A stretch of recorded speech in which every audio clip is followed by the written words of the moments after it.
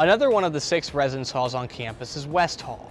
Housing approximately 65 students in single and double rooms, West Hall boasts wall-to-wall carpeting, overhead storage, central air conditioning in every room, and generous lounge space on each floor for you to hang out with friends. Large bathrooms connect both sides of each floor.